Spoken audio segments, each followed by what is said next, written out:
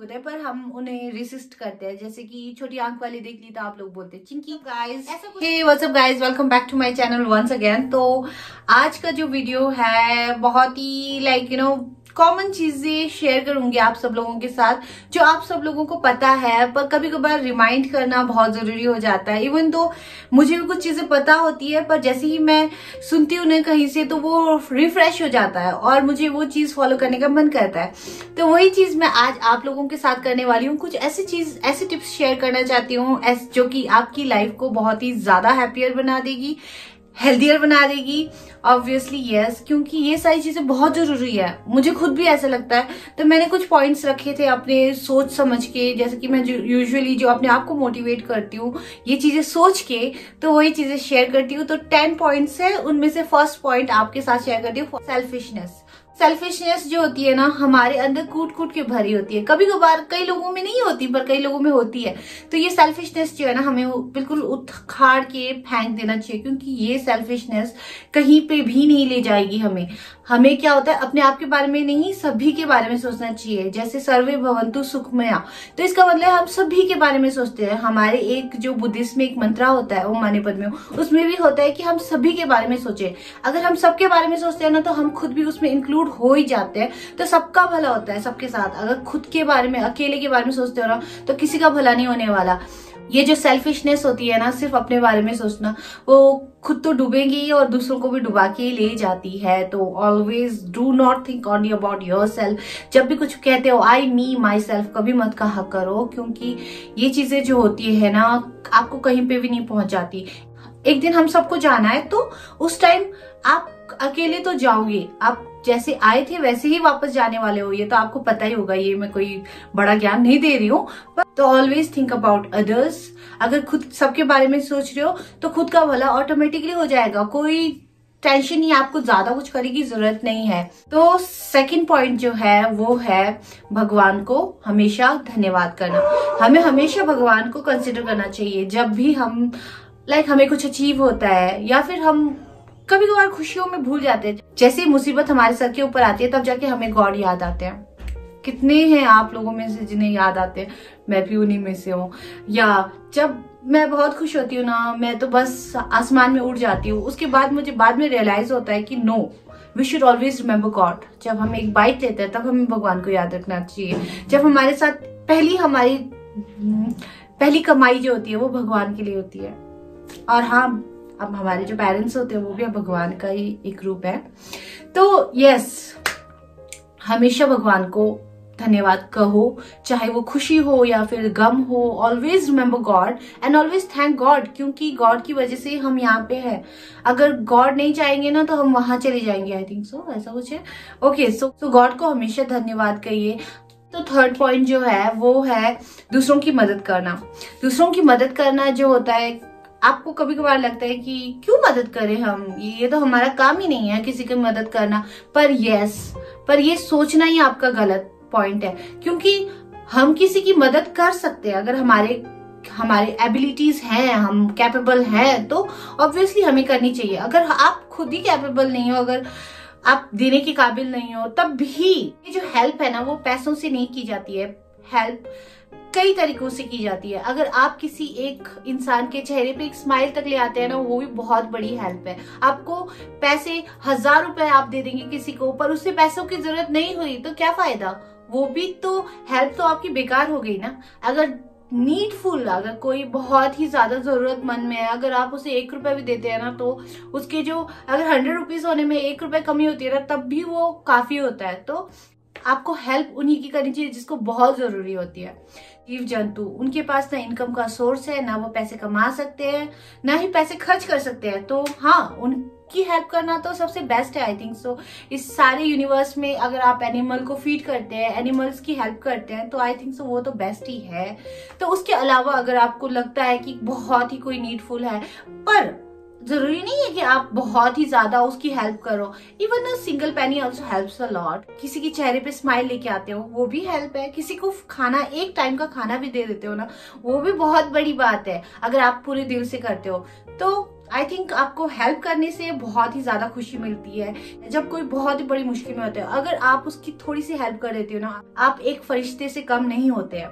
तो help others उससे आपको जो खुशी मिलेगी ना वो किसी भी चीज़ से कंपैरेटिवली नहीं है। वो चीज़ आपको कोई भी लाइक like, वो खुशी जो होती है ना आपको पिज्जा खाने से भी नहीं मिलेगी। वो खुशी जस्ट प्राइसलेस होती है।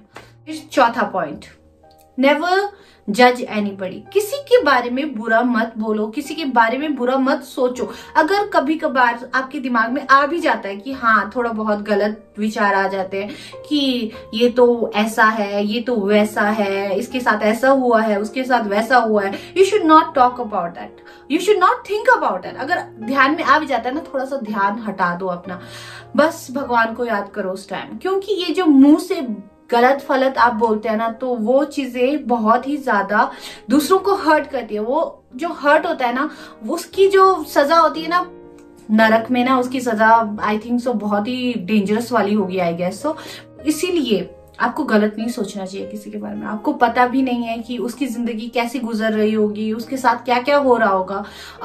अभी तो कलयुग चल रहा है। अगर आप बोलते हो ना, ये आदमी गरीब है तो नेक्स्ट मोमेंट ही आप गरीब हो जाते हो। अगर आप बोलते हो ना, इसकी आँखें खराब है नेक्स्ट मोमेंट आपकी आँखें खराब हो जाती है। तो never say anything bad about other अच्छा सोचो अच्छा सोचो। अगर किसी के बारे में अच्छा नहीं सोच सकते तो बुरा मत सोचो। क्योंकि अच्छा सुनोगे तो अच्छा होगा दिल की शांति होगी मन की शांति होगी एंड आप खुश रहोगे। अगर आप खुश रहोगे तो everything is all right right always be happy खुश रहो दूसरों को भी खुश रहने दो। डोंट बैक बाइट पीछे पीछे से गॉसिप करना पीछे से बकवास करना किस, किसी के मामलों में टांग अड़ाना दैट्स ऑल वेरी रॉन्ग मेरे ख्याल से अगर खुश रहना चाहते हो तो इस पॉइंट को हमेशा नेग्लेक्ट करो। ओके okay, तो मेरा जो फिफ्थ पॉइंट है वो है रिस्पेक्ट एल्डर्स हमें हमेशा रिस्पेक्ट करनी चाहिए अपने एल्डर्स की हमारे जो पेरेंट्स हैं हम हमारे जो गुरु हैं या फिर कोई भी जो बुज़ुर्ग हो या फिर कोई भी जो हमसे बड़ा हो अहदे में या फिर उम्र में या फिर हमारे किसी भी चीज़ से है ना तो उनकी रिस्पेक्ट करना बहुत ज़रूरी है। अगर आप उन्हें नमस्ते भी करते हो, उन्हें कुटशी दिले बोलते हो, उन्हें जुले बोलते हो, कुछ भी बोलते हो ना तो उससे आप छोटे नहीं हो जाते, आपको हमेशा रिस्पेक्ट करनी चाहिए। इवन तो अगर आप स्माइल करते हो किसी को, वो आपको स्माइल ना भी करे तो don't think like that you know कभी ऐसा नेगेटिव नहीं होना चाहिए कि उन्होंने मुझे देखा नहीं, उन्होंने मुझे रिस्पेक्ट नहीं किया, मैंने उन्हें रिस्पेक्ट किया, पर उन्होंने इट मे बी लाइक उनका मूड ना हो, या फिर ऐसा हो सकता है उन्होंने आपको ग्रीट करते हुए देखा ना हो तो ऑलवेज बी पॉजिटिव इससे ज़्यादा like you know positive vibes आती है। अगर आप ऐसा सोचने लगे ना, जितना नेगेटिव सोचते जाओगे ना, उतना ही नेगेटिव होता जाता है माइंड और नेगेटिव होता जाता है, और नेगेटिव तो इससे होता है कि आप में हेट्रेड बढ़ती जाती है। अगर हेट्रेड बढ़ेगी तो आप खुश कैसे रहेंगे? राइट तो खुश रहने का, ये था फिफ्थ नुस्खा। तो ओके सो सिक्स पॉइंट क्या है?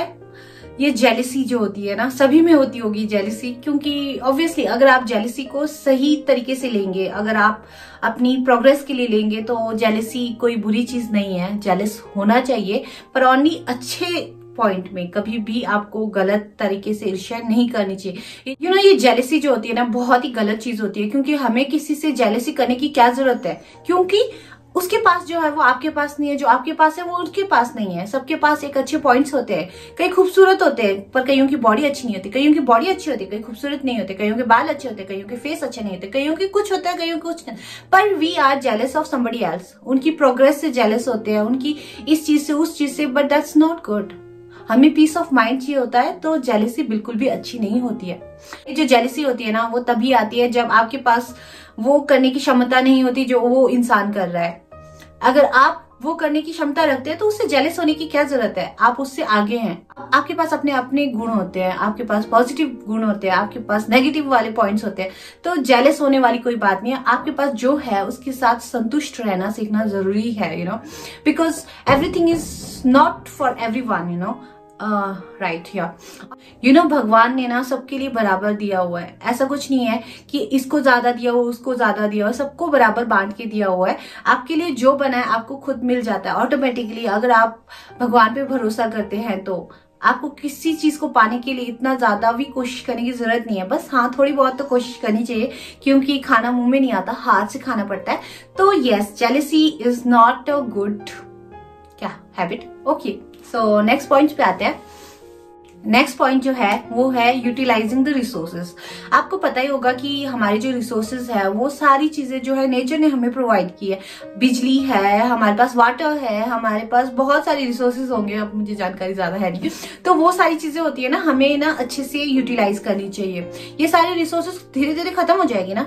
जैसे कि पानी होता है, हम बस पानी को छोड़े रखते हैं, बस मिस करते हैं, वो गलत बात है राइट इवन दो अगर आप किसी होटल में रहते हैं, तब भी आपको लगता है कि आप पे कर रहे हो होटल का रेंट पे कर रहे हो तो आप पानी को ऐसे खुले नहीं छोड़ सकते, क्योंकि वो पानी जो है, किसी किसी को पीने को भी नहीं मिलता है राइट और जो लाइट्स होती है, हमेशा ऑन रखते हैं इवन दो घर छोड़ के चले जाते हैं, फिर भी लाइट्स ऑन रखती है दैट्स नॉट गुड क्योंकि चाहे वो बिजली का बिल कोई भी दे रहा हो, पर वो जो बिजली यूज़ हो रही है, वो बहुत ही मुश्किल से आती है। उसे बनाने में टाइम लगता है, उसे बनाने में एनर्जी लगती है रिसोर्सेस लगते हैं, और बहुत कुछ।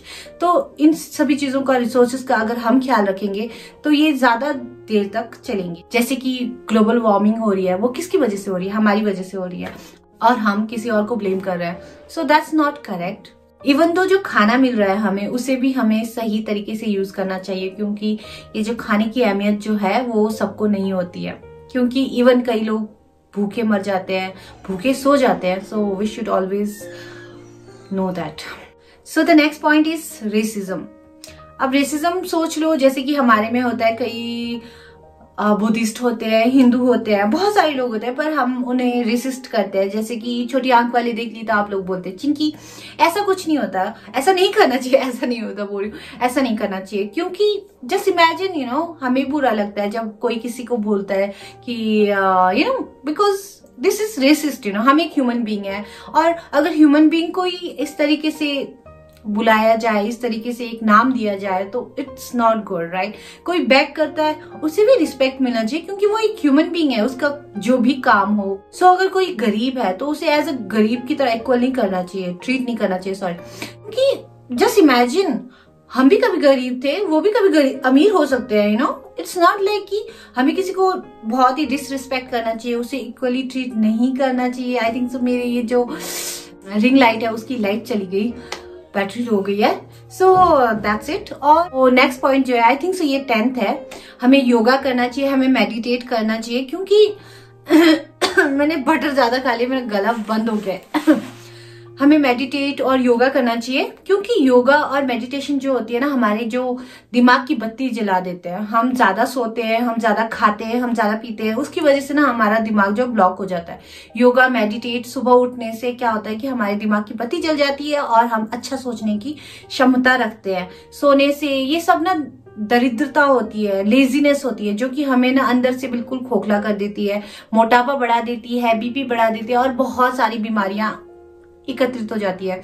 So that is the reason हमें as soon as possible early in the morning जो सूर्य नमस्कार होता है और गॉड को ऑफ़र करते हैं हम चीज़ें, वो सब करना चाहिए हमें, दिया जलाना, ये सब जो गुड हैबिट्स होती है ना, उसे फॉलो करना चाहिए। ये इजी नहीं होता स्टार्टिंग में इजी नहीं होता रियली इजी नहीं होता। बट यस अगर हम फॉलो करने का सोच लेना तो ये एक हैबिट बन जाती है और ये अच्छी हैबिट ना अगर रहे ज़िंदगी भर तो तब तो क्या ही बोले, आपके तो ज़िंदगी बन गई। So I think so ten points हो गए and that's all for my video today अच्छा लगा हो तो लाइक दीजिएगा, नहीं लगा होगा तब भी लाइक दीजिएगा और bye bye see you in next video